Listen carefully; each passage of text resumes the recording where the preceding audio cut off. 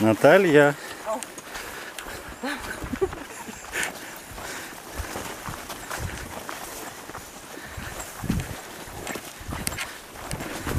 Вот договоримся, без наркотиков, да, я все обработаю. А. Да. Что это я?